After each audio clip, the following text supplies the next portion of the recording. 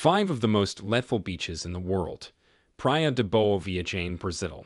This beach in Recife, Brazil is considered one of the most unsafe in the world due to its high number of shark attacks. Playa Zipolite, Mexico. This beach on the Pacific coast of Mexico is known for its unsafe way and undertows.